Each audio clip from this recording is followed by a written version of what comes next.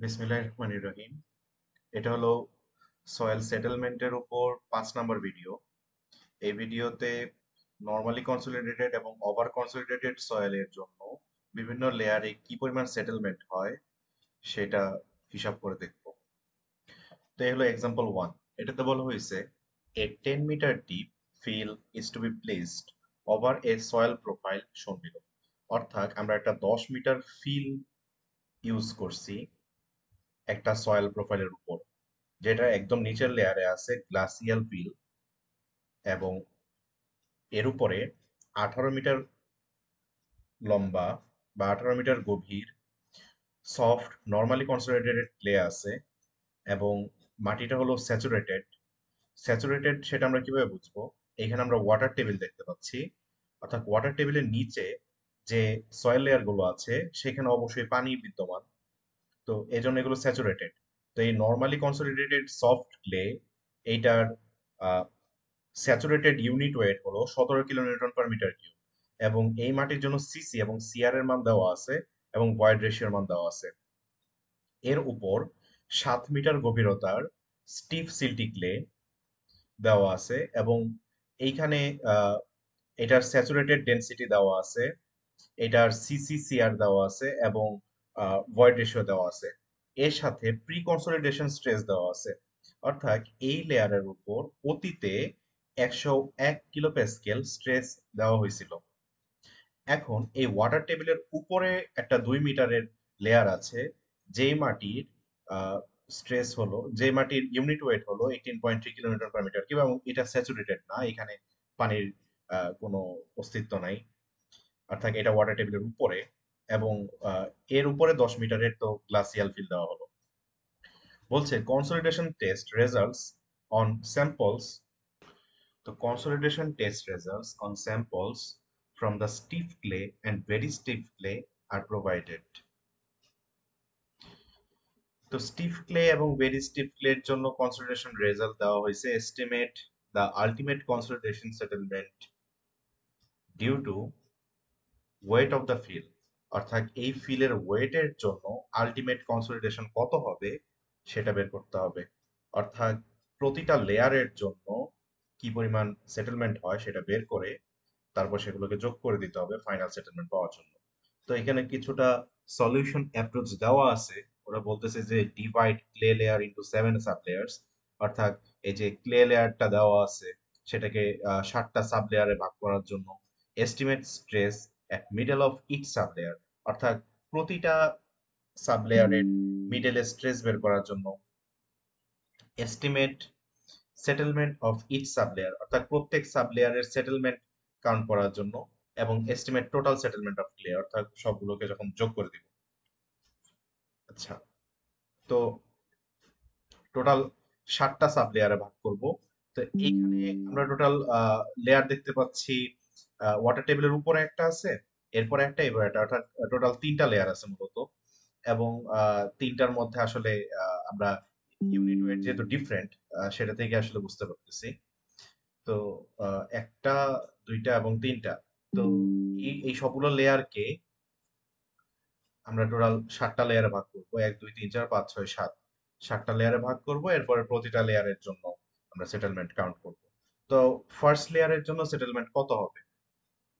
আচ্ছা ফার্স্ট লেয়ারের জন্য আমার জেড এর মান জেড এর মান হবে ওয়ান সেটা আমরা কীভাবে পাবো? সেটা আমরা পাবো যে আমাদের ঠিক যে ফিলটা আছে, এই যে আমাদের ফিল এই ফিলের নিচ থেকে এই ফার্স্ট লেয়ারের মিডল পর্যন্ত ডিস্টেন্স ফিলের নিচ থেকে মিডল পর্যন্ত ডিস্টেন্স কত হবে? ওয়ান অর্থাৎ এই দুই মিটারের ফিফটি পার্সেন্ট ডিস্টেন্সে অর্থাৎ জেড এর মান হবে ওয়ান তাহলে ইনিশিয়াল স্ট্রেস কত হবে? Sigma B naught prime initial হিসেবে এটার উপর আমাদের, আমরা যদি মিডল পয়েন্টের স্ট্রেসটা বের করতে চাই, তাহলে এই মিডল পয়েন্টের উপরে এই লেয়ারটার অর্ধেক পরিমাণ মাটি অবস্থিত। এই এই পরিমাণ মাটি অবস্থিত। এই মাটির যে সেলফ ওয়েট আছে, সেটা নিশ্চয়ই কিছুটা স্ট্রেস প্রয়োগ করবে। সেটার জন্য এই ক্ষেত্রফলের উপর কিছুটা চাপ তৈরি হবে। তো সেটা আমরা হিসাব করে দেখি। সেটাই হবে আমার ইনিশিয়াল স্ট্রেস তো ইনিশিয়াল স্ট্রেস হবে eighteen point three into one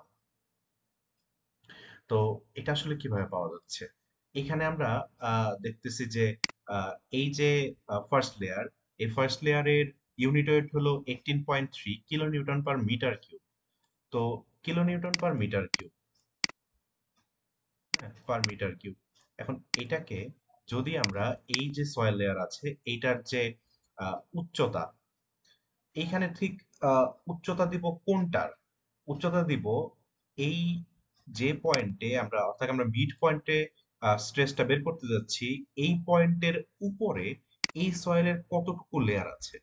এটা আছে ওয়ান মিটার অর্থাৎ এই পয়েন্টের উপরে এই সয়েলটুকুই তো এই পয়েন্টের উপর আসলে স্ট্রেসটা দিবে। প্রেসার দিবে। তো এই উচ্চতা ওয়ান মিটার এটা দিয়ে আমরা যদি গুণ করে দিই, তাহলে এই একটা মিটার এবং এইখান থেকে একটা মিটার কাটা চলে গেলে মিটার স্কোয়ার থাকবে।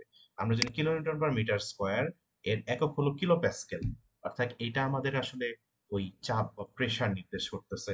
অর্থাৎ আমাদের ইনিশিয়াল স্ট্রেস হলো eighteen point three kilo Pascal এখন আমাদের যে sigma V V prime sigma V prime এখানে বলতেছে, মূলত আমাদের ফিলের জন্য যে স্ট্রেসটা পাওয়া যায়, অর্থাৎ উপরে যে ফিলটা আছে, এই ফিলটাও তো আমাদের এই মিডল পয়েন্টের অর্থাৎ এই এই ফার্স্ট লেয়ারের যে মিডল পয়েন্টের উপরে অবস্থিত, তাই না?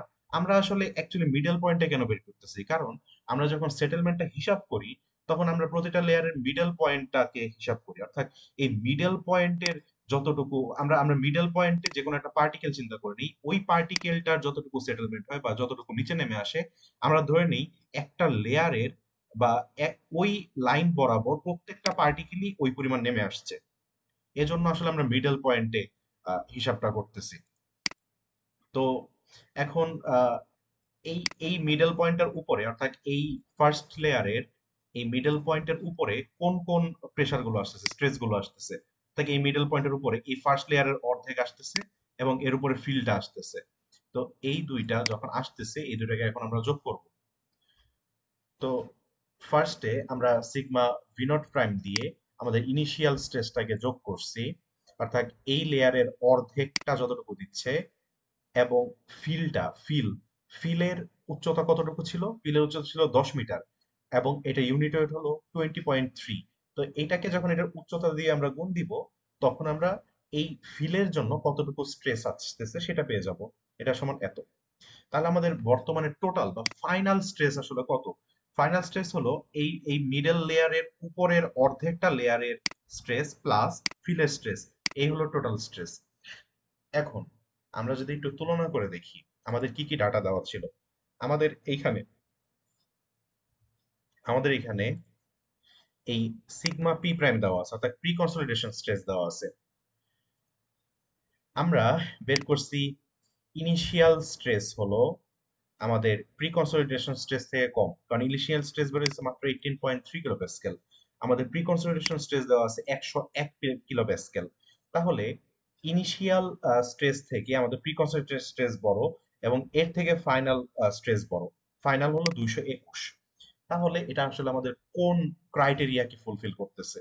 আমাদের যদি উপরে যাই, এটা আমাদেরকে ফুলফিল করতেছে এই এই যে ওভার কনসলিডেটেড সয়েলের এই থার্ড ক্রাইটেরিয়া যেটা আছে, মূলত আমাদের সেটেলমেন্ট হিসাব করার সময় যে আমরা থার্ডটা পাইছিলাম, যেখানে আসলে আমাদের এট ফার্স্ট আমাদের সাইটের যে ইনিশিয়াল স্ট্রেস থাকে সেটা কম থাকে, এরপরে ধীরে ধীরে সেটা বাড়ে এবং একটা সার্টেন লেভেলে গিয়ে সেটা আসলে এই প্রিকনসোলেশন স্ট্রেসকে অতিক্রম করে আরও উপরে চলে যায়। তখন আমাদের রিকম্প্রেশন ইন্ডেক্স এবং কম্প্রেশন ইন্ডেক্স দুইটাই কাউন্ট হয়। এই হলো আমাদের সেটেলমেন্টের সূত্র। তো আমরা এখন এই সূত্রটা এখানে ইউজ করব। তো এই সূত্রটা আমরা এখানে ইউজ করছি এই যে সূত্র। এবং এখানে এস ওয়ান ইউজ করছি ফার্স্ট লেয়ার বোঝানোর জন্য। তো এই সূত্রটা এটা সম্পূর্ণ এখানে লিখছি। তো এখানে সিআর এর মান দেওয়া আছে যে CR zero point zero eight one plus E naught zero point six six এখানে সবগুলোর মান যা যা দরকার যে sigma P prime sigma P prime এর মান কত বেড়েছে ই প্রি কনসলিডেশন স্ট্রেস দেওয়া আছে একশো এক কিলো প্যাসকেল এবং ভি নট প্রাইম অর্থাৎ ইনিশিয়াল স্ট্রেস দেওয়া আছে eighteen point three into H naught H naught হলো আমরা যে লেয়ারে বের করতেছি, সেই লেয়ারের ডেপথ সেই লেয়ারের ডেপথ কত? দুই মিটার এটা দ্বারা গুণ করে দিলাম এইচ নট এটা দ্বারা যখন গুণ করে দিলাম এবং পরের, পরবর্তী যেগুলো দেওয়া আছে, যে এখানে সিগমা বিএফ প্রাইম বিএফ প্রাইমের মান দুশো একুশ এবং সিগমা পি প্রাইম এটা একশো এক। এখন এইচ নট দুই, ওই লেয়ারের উচ্চতা। তো এইখানে আসলে ফার্স্ট লেয়ারের জন্য আমাদের সেটেলমেন্ট পেয়ে গেছি। তো এখন সেকেন্ড লেয়ার সেকেন্ড লেয়ারের জন্য আমাদের জেড এর মান বের করতে হবে। জেড ওই সেমি আমাদের এই যে ফিল যেটা আছে ফিলের নিচ থেকে আমাদের এই সেকেন্ড লেয়ারের মিডল পর্যন্ত যে ডিস্টেন্স তো ফার্স্ট হলো দুই মিটার অতিক্রম করব অর্থাৎ এই ফিল থেকে এটুকু হলো দুই মিটার এবং এই সেকেন্ড লেয়ারটা হলো তিন মিটারের তাহলে এই তিনের অর্ধেক পর্যন্ত যাব, অর্থাৎ two plus one point five হবে আমাদের সেকেন্ড লেয়ারের জন্য জেড তো two plus one point five এর জন্য আমরা যাব যে two plus one point five অর্থাৎ টোটাল থ্রি পয়েন্ট ফাইভ তো এখন আমাদের এই থার্ড লেয়ারের উপরে কি কি আছে? এই থার্ড লেয়ার এই সেকেন্ড লেয়ার সরি সেকেন্ড লেয়ারের উপরে আমাদের এই লেয়ারটার অর্ধেক আছে এরপরে আমাদের ফার্স্ট লেয়ারটা আছে, এরপরে ফিলটা আছে। অর্থাৎ এদের টোটাল সবগুলোকে যোগ করতে হবে। তো আমাদের ইনিশিয়াল হিসেবে আমরা শুধুমাত্র এই ফিলের নিচের লেয়ারগুলোকে যোগ করব, এরপর আসলে ফাইনালটা বের করার জন্য ফিলটাও যোগ করে দিব। তো এই যে সিগমা ভি নট প্রাইম এটা আমরা কীভাবে বের করব? Eighteen point three into two এটা কোথা থেকে আসছে? এই যে এইটিন পয়েন্ট থ্রি হলো আমাদের যে ফার্স্ট লেয়ার ছিল, সেই ফার্স্ট লেয়ারের ইউনিট ওয়েট এটাকে এটার উচ্চতা হলো দুই দ্বারা গুণ করে দিলাম। এবং এরপরে এইটার ইউনিট ওয়েট কত? এই এই যে সেকেন্ড লেয়ার সেকেন্ড লেয়ারটা আমরা দেখতেছি ওয়াটার টেবিলের নিচে এবং এটা স্যাচুরেটেড আমরা আসলে স্যাচুরেটেডটা নিয়ে কাজ করব না, আমরা আসলে শুধুমাত্র ড্রাই ইউনিট ওয়েট নিয়ে কাজ করব।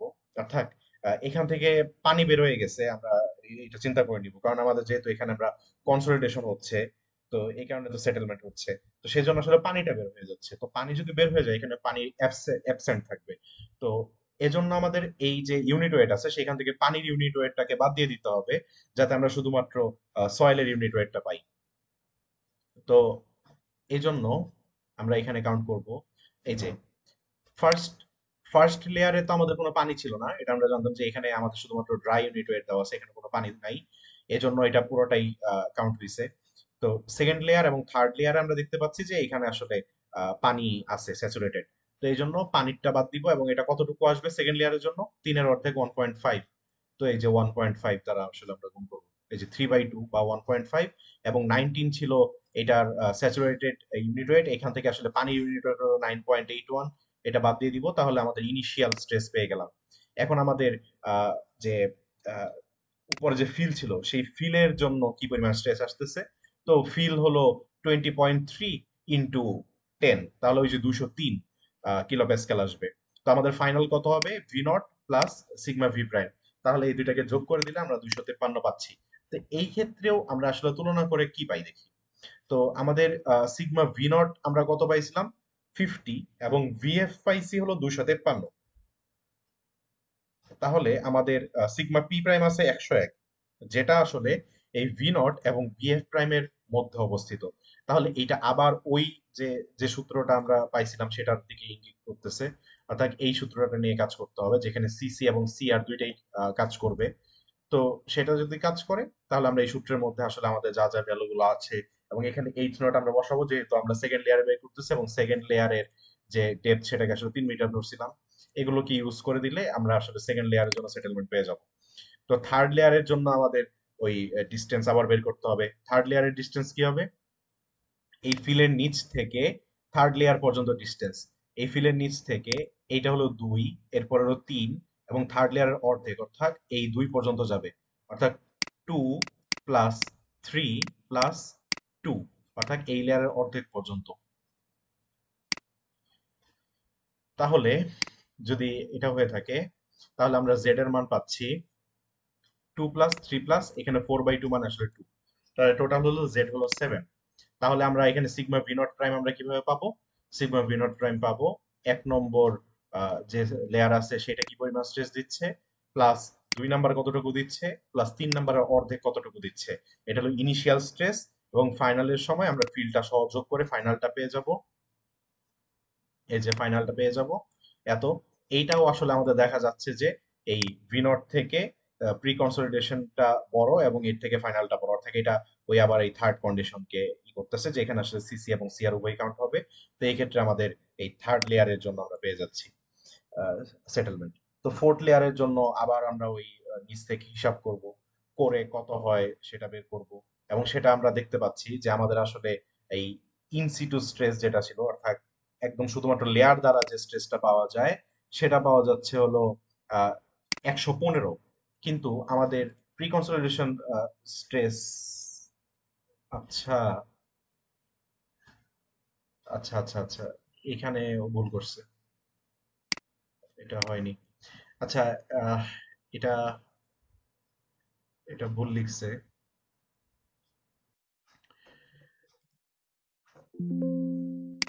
আচ্ছা তো এখন লেভেল ফোর এর জন্য, অর্থাৎ লেয়ার ফোর এর জন্য আমরা দেখতে পাচ্ছি যে এটা একটা নতুন লেয়ারে চলে গেছে লেয়ার চেঞ্জ হয়েছে।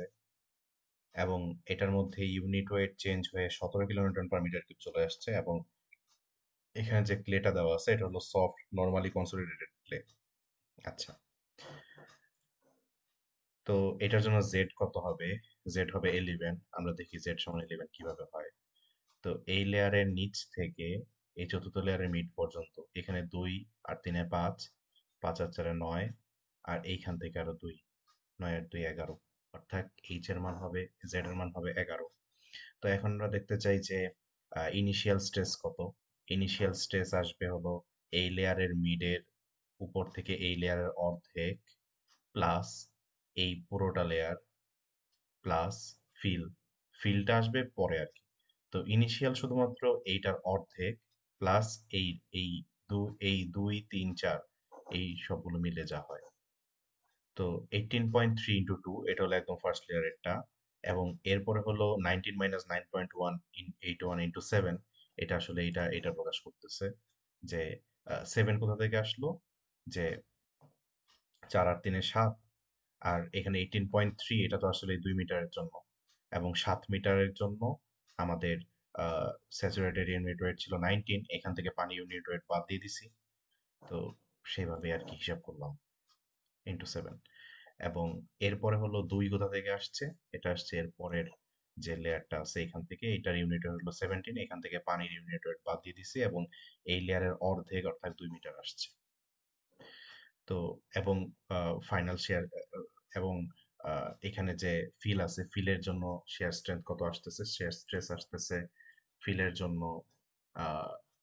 দুশো তিন, কারণ twenty point three into ten দুশো তিন হয়। তাহলে টোটাল ফাইনাল স্ট্রেস কত? এইটা আর এটা যোগ করে দিব এই দুইটা, তাহলে তিনশো আঠারো আসতেছে। এখন এখানে একটা কথা বলা আছে যে normally consolidated clay NC clay এবং এখানে আমরা দেখতে পাচ্ছি যে, কোনো ধরনের যে প্রি কনসোলিডেটেড স্ট্রেস এটা দেওয়া নাই, অর্থাৎ সিগমা পি প্রাইম এই লেয়ারের জন্য দেওয়া নাই, উপরেরটার জন্য দেওয়া আছে। কিন্তু আমাদের জন্য একটা জিনিস সুবিধাজনক, সেটা হলো এখানে একটা কথা বলে দিছে সেটা হলো নর্মালি কনসোলিডেটেড ক্লে আমরা জানি নর্মালি কনসোলিডেটেড ক্লের জন্য একটা সূত্রই পাওয়া যায়, একদম ফার্স্টটা এই যে এটা। এই যে এখানে একটা কথা বলা আছে নর্মালি কনসোলিডেটেড সয়েল তার মানে আমাদের সূত্র এইটাই, শুধুমাত্র। তো এই সূত্রটা আমরা ইউজ করে দিব। এই সূত্রটা আমরা ইউজ করে দিব। এই যে এই সূত্রটা আমরা লিখলাম, লিখে এখানে সিসি এর মান দেওয়া আছে প্রশ্নেই দেওয়া আছে যে এখানে সিসি এর মান দেওয়া আছে, তারপর ভয়েড রেশিওর মান দেওয়া আছে, সবকিছু দেওয়া আছে। এখানে যদি বসিয়ে দিই তাহলে ফোর্থ লেয়ারের জন্য আসলে সেটেলমেন্ট কতটুকু সেটা পেয়ে যাব। সেম ভাবে ফিফথ লেয়ারের জন্য বের করব, এখানে আনসার দেওয়া আছে। এবং ফিফথ লেয়ার আচ্ছা এটা হলো লেয়ার টু একটু সিরিয়াল উল্টাপাল্টা হয়েছে যে ফিফথ লেয়ারের জন্য এটা। ফিফথ লেয়ারের জন্য তো সেমই যে নর্মালি কনসলিডেটেড লেয়ার সূত্র ইউজ করব এবং এটার জন্য zero point three five one layer six এর জন্য বের করব। তারপর লেয়ার সেভেন এর জন্য বের করব।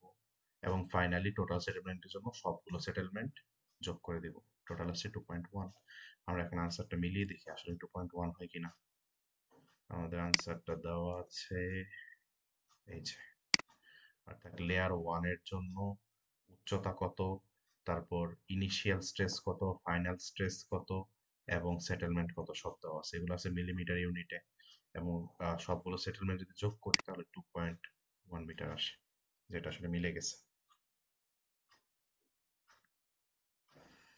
আচ্ছা এই ভিডিওতেই আসলে সব অঙ্কগুলো যদি করে ফেলি তাহলে তো ভালো হবে। আচ্ছা এর পরের অঙ্কে যদি দেখি, এখানে বলতেছে the palace of fine arts of Mexico city is supported on a mat foundation that is approximately 65 into 115 metre অর্থাৎ এখানে একটা রেক্টেঙ্গুলার ম্যাট ফাউন্ডেশন ইউজ করা হয়েছে এই the palace of fine arts Mexico city তো এই জায়গায় এটা ডাইমেনশন দেওয়া আছে sixty five into one hundred fifteen metre the average bearing pressure at the bottom of this mat is uh, 115 kilopascal তো bearing pressure দেওয়া আছে assuming that the sandy field has been built for a long time তো এই এই Sandy ফিল্ডটা অনেক long time ধরে build অবস্থায় আছে এটা এটা দ্বারা বোঝাচ্ছে আসলে এখানে সেটেলমেন্ট মানে হবে না এটা এটাই বোঝাচ্ছে এটা দ্বারা অনেক দীর্ঘ সময় ধরে থাকলে এখানে সেটেলমেন্ট হয় না কনসলিডেশন ইজ কমপ্লিটেড যে সুতরাং কনসলিডেশন এখানে complete estimate the settlement of the palace of fine arts অর্থাৎ এটা সেটেলমেন্ট শুধুমাত্র হতে পারে এই সফট নর্মালি কনসলিডেটেড ক্লের জন্য। তো এই ক্লের জন্য আসলে স্যাচুরেটেড ইউনিট ওয়েট দেওয়া আছে এবং দেওয়া আছে হলো ভয়েড রেশিও এবং কোএফিসিয়েন্ট অফ কম্প্রেসিবিলিটি আর স্যান্ডিফিলের ইউনিট ওয়েট দেওয়া আছে এত। আর ওয়াটার টেবিল শুরু হয়েছে এটা নিচ থেকে। আচ্ছা। তো এখানে সরাসরি থার্ড লেয়ার থেকে শুরু করছি। আমি যদি ফার্স্ট লেয়ারটা দেখি ফার্স্ট লেয়ার থেকে কোথায় এই যে মেট ফাউন্ডেশন এটা ফার্স্ট লেয়ারে কোথায়? এই যে লেয়ার ওয়ান লেয়ার ওয়ানের জন্য জেড এর মান কত হবে? এখানে বেশি সেভেন পয়েন্ট টু ফাইভ দেখি সেভেন পয়েন্ট টু ফাইভ কীভাবে হয়? এখানে একটা কথা বলা হয়েছে যে এখানে অলরেডি আসলে এই যে সফট নর্মালি কনসেন্ট্রেটেড ক্লে এই প্রোফাইলটার আসলে হাইট দেওয়া আছে ফর্টি ফাইভ মিটার এবং এখানে কয়েকটা ভাগে ভাগ করা আছে এবং প্রতিটা ভাগ হলো four point five metre each তার প্রতিটা ফোর পয়েন্ট ফাইভ মিটার করে। তো এটা আসলে কয়টা ভাগে ভাগ করা হয়েছে? টোটাল দশটা ভাগে ভাগ করা হয়েছে। তো এখানে যেহেতু পঁয়তাল্লিশ মিটারকে total four point five metre করে ভাগ করা হয়েছে, তাহলে এটা টোটাল দশটা ভাগ পাওয়া যায়। তো প্রতিটা ভাগের জন্য আসলে আমাকে বের করতে হবে কি পরিমাণ করে সেটেলমেন্ট হয়, তারপর টোটাল সেটেলমেন্টটা যোগ করে দিলে আমরা আসলে ফাইনাল সেটেলমেন্ট সব পেয়ে যাব। এখানে বেরিয়েছে approximately four point six metre তাহলে বের করব কীভাবে? তো আমাদের ফার্স্ট লেয়ারের জন্য আমরা কত পাইছিলাম? এখানে আবার যদি দেখি ফার্স্ট লেয়ারের জন্য আমাদের জেড ছিল সেভেন পয়েন্ট টু ফাইভ তো এটা কীভাবে হয়? ফার্স্ট লেয়ার ফার্স্ট লেয়ারের জন্য সেভেন পয়েন্ট টু ফাইভ কীভাবে হয়? এইখানে ফার্স্ট লেয়ারে আমার ওয়াটার টেবিলের নিচ থেকে এখানে four point five divided by two করলে আসবে টু পয়েন্ট টু ফাইভ অর্থাৎ এইটুকু হলো টু পয়েন্ট টু ফাইভ আর যদি একদম উপর থেকে এই ফিল সহ যদি হিসাব করি, তাহলে আসবে হলো seven point two five five plus two point two ফাইভে সেভেন পয়েন্ট টু ফাইভ হয়। তো এই ক্ষেত্রে আসলে হিসাবটা একসাথে করে ফেলছে। এই জন্য বিষয়টা। আগেরটার সাথে এটা খুব একটা আহামরি পার্থক্য নাই। আগেরটা কি করছিল? যে ভি এর ক্ষেত্রে আমাদের শুধুমাত্র এই এই যে প্রতিটা সয়েলের আলাদা আলাদা করে যে সাবলেয়ারগুলো করছে এই সাবলেয়ারের জন্য প্রথমে শুধুমাত্র এই সাবলেয়ারের এই অর্ধেকটার জন্য যতটুকু স্ট্রেস আছে সেইটা আগে বের করে নিছে। তারপর সাইটের জন্য যে প্রেসারটা আসে স্ট্রেসটা আছে ফিলের জন্য সেটাকে আলাদাভাবে বের করে তারপর যোগ করছে। অর্থাৎ আমি যেটা বলতেছি সেটা যদি দেখাই এই যে এই এই ঘটনাটা ঘটছে কোথায়? এই যে এই যে এই ঘটনা ঘটছে। প্রথমে ওরা বের করে নিছে যে শুধুমাত্র সাব লেয়ারের জন্য ঠিক কতটুকু স্ট্রেস আসে সেটা হলো সিগমা ভি নটে এবং সিগমা ভি প্রাইমে বের করছে হলো ফিলের জন্য কতটুকু স্ট্রেস আছে তো এই ফিলের জন্য কতটুকু স্ট্রেস আছে এবং সাব লেয়ারের জন্য কতটুকু স্ট্রেস আছে এটাকে আলাদা আলাদা করে যোগ করে তারপর আসলে ওরা ফাইনালটা বের করছে। আর এইটার ক্ষেত্রে ওরা আসলে আলাদা করে না করে সরাসরি করে দিছে। তো সরাসরি করতে হলে আসলে আমাদের পুরোটাই তো কাউন্ট করতে হবে। তো সরাসরি যদি বের করতে হয়, তাহলে পুরোটা কাউন্ট করতে হবে। তো এজন্য Z equal to seven point seven two five নিচে একদম উপর থেকে। তো এটাও, এটার যোগটা দেখলেই বোঝা যাবে। এখানে কত seventeen point five into five তো সেভেন্টিন পয়েন্ট ফাইভ আসলে কি? এখানে সেভেন্টিন পয়েন্ট ফাইভ হলো আমার যে ফিলটা আছে, যে স্যান্ডি ফিল সেই স্যান্ডি ফিলের ইউনিট ওয়েট তো seventeen point five into five অর্থাৎ এই স্যান্ডি ফিলটা কতটুকু স্ট্রেস দিচ্ছে প্লাস এই সয়েলের মিড লেয়ারের উপরটুকু কতটুকু স্ট্রেস দিচ্ছে। এই যে plus two point two five ছিল হলো এই লেয়ারের অর্ধেকের উচ্চতা ইন্টু এইটার ইউনিট ওয়েট হলো স্যাচুরেটেড এজন্য এটা থেকে পানির ইউনিট ওয়েটটাকে বাদ দিতে হবে into two point two five এই যে। তাহলে নাইনটি ওয়ান পয়েন্ট থ্রি অর্থাৎ এটা একবারে করে ফেলছে আর কি। আচ্ছা। তো ফাইনালটা বের করার আগে আমাদের আগে বের করতে হবে যে এই লেয়ার পর্যন্ত পৌঁছাতে স্ট্রেস কতটুকু বৃদ্ধি পায়। তো স্ট্রেস কতটুকু ছড়িয়ে পড়ে সেটা আসলে বের করা যায় টু ইস টু ওয়ান মেথডে অর্থাৎ স্ট্রেস ডিস্ট্রিবিউশনটা এই মানে প্রেশারের জন্য। অর্থাৎ এখানে যে এই বিল্ডিং এর প্রেশারের জন্য ওই লেয়ারে প্রেশারটা কতটুকু ছড়িয়ে যায় সেটা আসলে দেখার জন্য।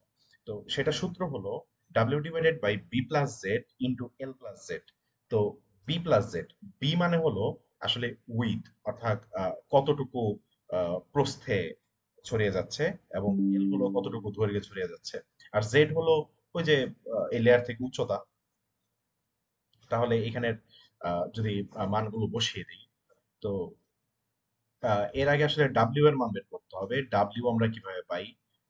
আমরা জানি ডাব্লিউ হলো আসলে শুধু ওয়েট ডাব্লিউ এর একক ওয়েট বা ডাব্লিউ আমরা জানি এটা একটা ফোর্স তো এটা ফোর্স হওয়ার কারণে আমাদের যে কিউ নোট দেওয়া আছে সেই কিউ নোটটা আসলে এই বিল্ডিং কর্তৃক কি পরিমাণ স্ট্রেস আছে সেটা।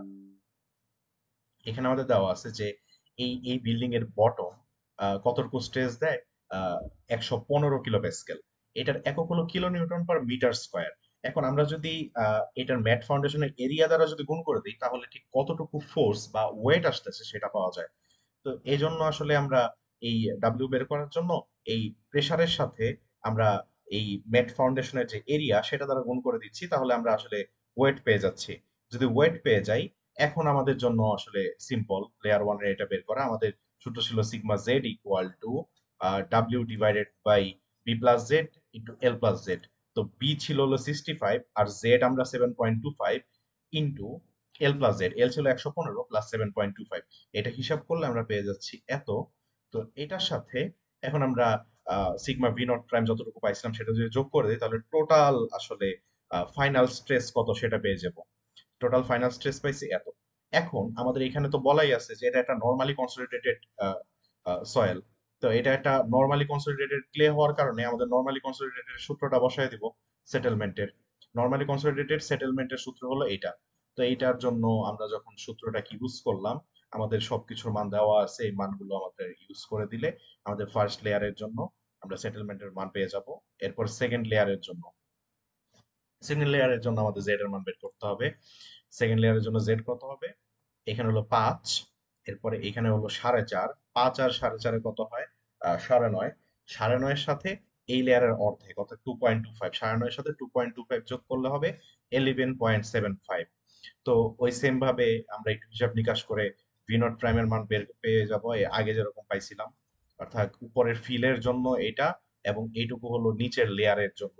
এবং এখানে ইলেভেন পয়েন্ট ফাইভ থেকে নাইন পয়েন্ট এইট বাদ দিচ্ছি যাতে আমরা শুধুমাত্র সয়েলের ইউনিট ওয়েটটা পেতে পারি।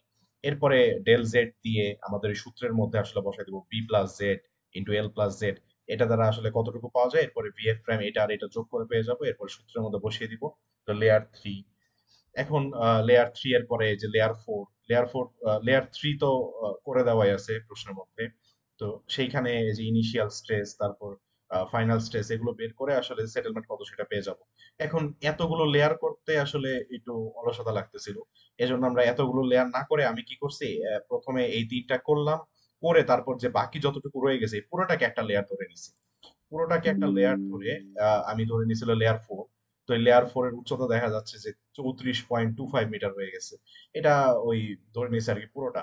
প্রথমে এই থার্ড লেয়ার পর্যন্ত গিয়ে আর যায় নাই এই থার্ড লেয়ার পর্যন্ত আমরা যদি হিসাব করি, বিষয়টা এমনি দেখলে বুঝতে পারব। ফোরটি ফাইভ থেকে four point five into three যদি বাদ দিয়ে দিই, তাহলে যত পাবো, সেইটার অর্ধেক প্লাস ফাইভ যোগ করলে আসলে থার্টি ওয়ান পয়েন্ট ফাইভ আসবে। আচ্ছা তো এটা নিজেরা হিসাব করে নিলে পাওয়া যাবে। তো সেইখান থেকে আমরা ভি নট প্রাইমের মান বের করে নিব। এই যে twenty nine point two five আসবে, হলো শুধুমাত্র লেয়ারের যে উচ্চতা সেটা। এবং এরপরে ভি নট প্রাইম এ দ্বারা বের করে, এরপরে ডেল জেড বের করব। তো আবার নর্মালি কনসেন্ট্রেটের সূত্রের মধ্যে বের করে দিব। এখন টোটাল যেহেতু চারটা লেয়ারে আমার সেটেলমেন্ট বের হয়েছে চারটা লেয়ারে সেটেলমেন্ট যোগ করে দিলে ফোর পয়েন্ট সিক্স বের হয়েছে। আমার প্রশ্নের মধ্যে যে আনসার দেওয়া আছে সেখানেও ফোর পয়েন্ট সিক্স এর কাছাকাছি আছে। তো এই হলো সেকেন্ড ম্যাথের আনসার এরপরে এস্টিমেট দি এরপরের অঙ্ক হলো estimate the ultimate consolidation settlement under the central line of a seventeen into seventeen metre mat foundation অর্থাৎ সেন্ট্রাল লাইনের নিচে সেটেলমেন্ট বের করব the mat thickness is one point two metre thick reinforced concrete, and the average stress on the surface of the slab is 120 kilopascal. Assume the sand is incompressible. আচ্ছা sand incompressible আগের আগের অঙ্কের মধ্যে কিন্তু বলছিল যে স্যান্ড আসলে অনেক দিন ধরে পড়ে আছে। এই যে assuming that the sandy fill has been build for a long time এটার ক্ষেত্রে কি বলছে? স্যান্ড ইজ ইনকম্প্রেসিবল অর্থাৎ উভয় ক্ষেত্রে আসলে স্যান্ড আর কম্প্রেশনটাকে কাউন্ট করা হয়নি। নাইলে কিন্তু আবার এই স্যান্ডের জন্য আবার কম্প্রেশন আসবে মানে সেটেলমেন্ট হবে।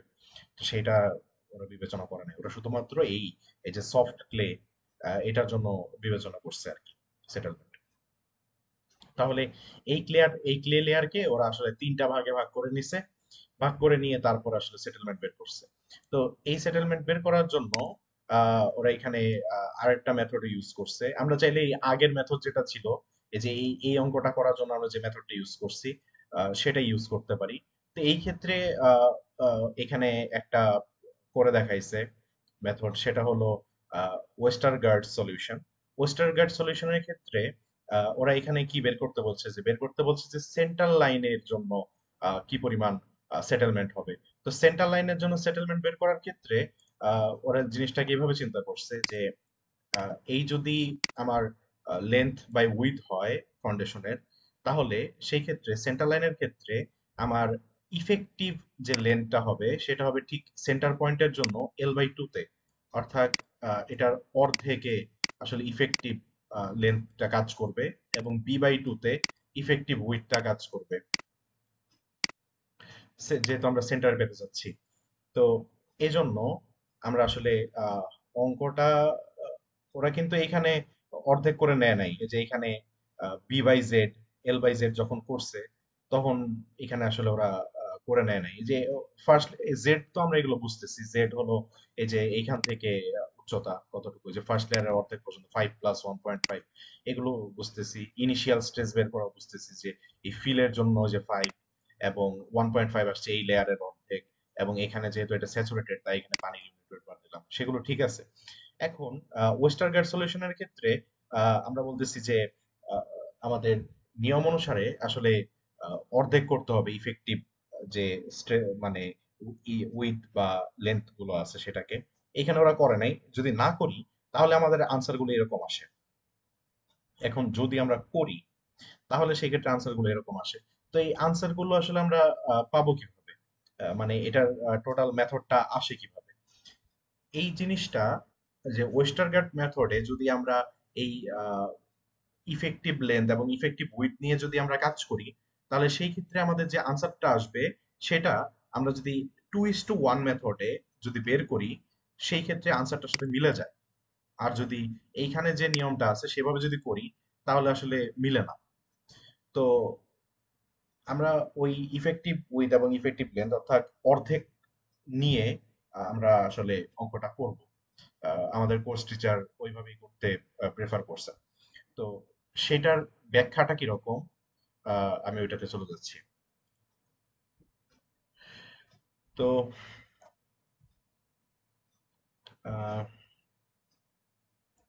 এই হলো অঙ্ক। আচ্ছা তো এটার ফার্স্ট লেয়ারের জন্য জেড এর মান তো আমরা পেলাম যে ফাইভ প্লাস এই লেয়ারের অর্ধেক, অর্থাৎ ওয়ান পয়েন্ট ফাইভ তাহলে সিক্স পয়েন্ট ফাইভ এবং ইফেক্টিভ স্ট্রেস সরি এটাকে কি বলে?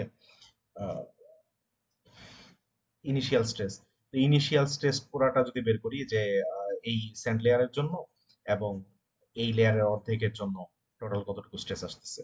এবং রেক্টেঙ্গুলার ফাউন্ডেশনের জন্য যদি আমরা ওয়েস্টার গ্যাস সলিউশন বের করি, তো আমরা বলছিলাম যে আমরা ইফেক্টিভ উইথ এবং লেন্থ নিয়ে কাজ করব।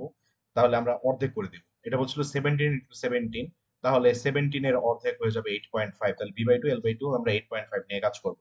তাহলে এখন আমাদের বের করতে হবে বি বাই জেড এবং L by Z B by Z এবং এল বাই জেড করলে কত আসে?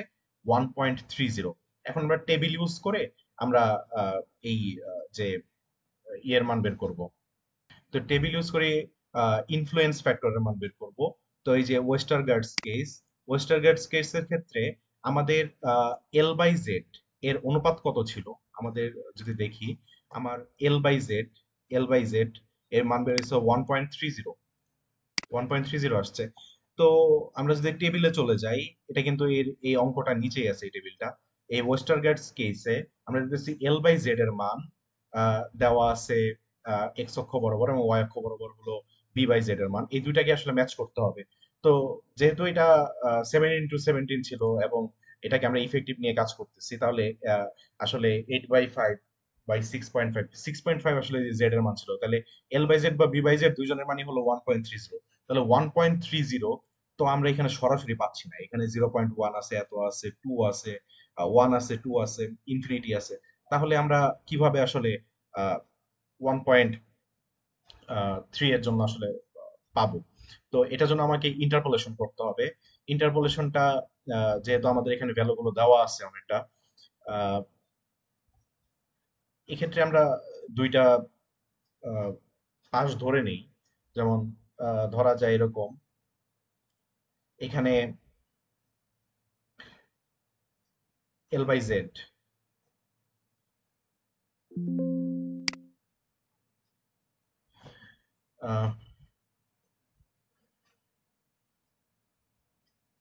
আচ্ছা এটা এল বাই জেড এর মান জিরো পয়েন্ট এইট নাইন এবং বি বাই জেড এর মানও আসে জিরো পয়েন্ট এইট নাইন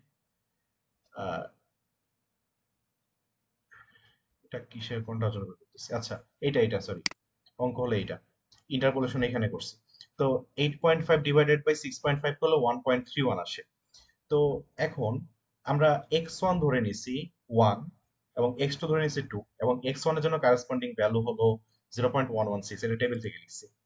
যে এক্স ওয়ান ধরে নিছি ওয়ান এবং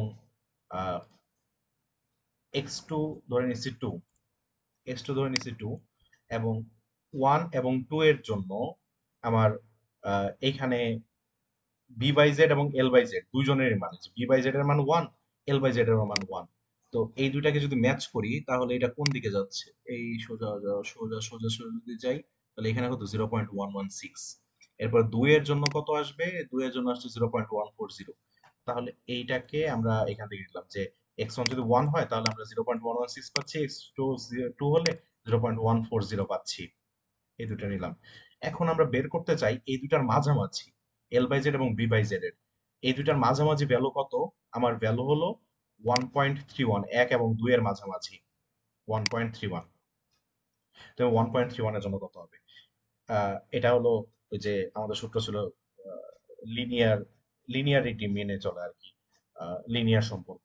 তাহলে minus X one divided by X one X two Y one Y one minus Y two তো এক্স এক্ষেত্রে এক্স কে ধরে নিয়েছি ওয়ান পয়েন্ট থ্রি ওয়ান তাহলে শুধুমাত্র এখন ওয়াই এর ভ্যালুটা আমরা বের করব। তো ওয়াই এর ভ্যালুটা আমাদের যা বের হবে, সেটাই হলো আমাদের ইন্টারপোলেটেড ভ্যালু অর্থাৎ মাঝামাঝি যে ভ্যালুটা তাহলে সেটা হলো zero point one two three যেটা আসলে প্রায় মোটামুটি জিরো পয়েন্ট ওয়ান থ্রি আমরা ধরে নিতে পারি। সেটা ধরেই এখানে অঙ্কটা করা হয়েছে। এই যে, আমরা এখানে জিরো পয়েন্ট ওয়ান থ্রি ধরে নিয়েছি ইনফ্লুয়েন্স ফ্যাক্টর তো আমাদের যে কর্নারের জন্য ফাইনাল স্ট্রেসের সূত্র ছিল সরি কর্নারের জন্য স্ট্রেস আমরা পাচ্ছি zero point one three into কোথায় আছে? এই যে। তো আমাদের কর্নারের জন্য ছিল zero point one three into one hundred and twenty একশো বিশ কি ছিল? একশো বিশ ছিল আসলে কি পরিমাণ স্ট্রেস আসতেছে এই ফাউন্ডেশনের দ্বারা। অর্থাৎ আমরা এখানে যে ইনফ্লুয়েন্স ফ্যাক্টর বের করছি, ওইটা দ্বারা আমাদের এই স্ট্রেসকে গুণ করে দিব, তাহলে আমরা পেয়ে যাচ্ছি এত। এবং তাহলে সেন্টারের জন্য কত পাবো? আমরা মূলত চিন্তা করে নিই এইভাবে যে এটা যেহেতু একটা রেক্টেঙ্গেল তাহলে এটার এই চার কোণার জন্য ইকুয়াল আমরা স্ট্রেস পাবো। তাহলে এই চার কোণার জন্য টোটাল যতটুকু হয় সেন্টারে ঠিক ততটুকু উদ্ভূত হয়। এই জন্য আমরা চার দ্বারা করে দিই। এই একটা কর্নারের যে স্ট্রেস আসে সেটাকে। তাহলে সিক্সটি টু পয়েন্ট ফোর আসে ফোর দ্বারা গুণ করে। তাহলে টোটাল আমাদের ফাইনাল স্ট্রেস কত আসবে? আমাদের ইনিশিয়ালি আসছিল এত, এরপরে আমাদের সেন্টারের জন্য পাইছি এত। তাহলে টোটাল আসছে এত। এখন যেটা আসলে আমরা তুলনা করি, আমাদের এখানে দেওয়া ছিল যে সিগমা পি প্রাইম একশো তিরিশ এবং আমাদের ভি নট প্রাইম এটা আসলে যে শর্তটা মেনে চলছে সেটা হলো ওভার কনসলিডেটেড আমাদের ওভার কনসলিডেটেড সূত্র ইউজ করব।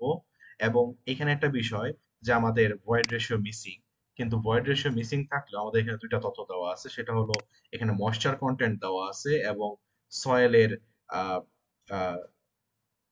সয়েলের স্পেসিফিক গ্র্যাভিটি দেওয়া আছে। তাহলে unit weight into specific gravity দ্বারা যদি আমরা গুণ করে দিই, তাহলে আমরা আসলে ভয়েড রেশিও পেয়ে যাব। সেই ক্ষেত্রে ভয়েড রেশিও পাইছি zero point one nine two যেটা আমাদের এই সূত্রের মধ্যে যখন আমরা ইউজ করে দিব। তখন আমরা আসলে সেটেলমেন্ট পেয়ে যাব। ঠিক সেম ভাবে আমাদের অন্যান্য লেয়ারের জন্য সেটেলমেন্টগুলো বের করে নিতে হবে।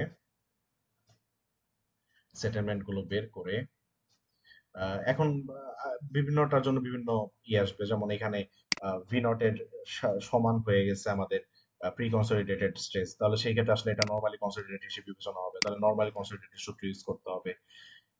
এটার জন্য আবার ওভার কনসলিডেটেড পাওয়া যাবে সেকেন্ড লেয়ারের জন্য। তো এগুলো একটু হিসাব করে আমাদের বের করে ফেলতে হবে যে ফাইনালি আসলে কত পাওয়া যাচ্ছে।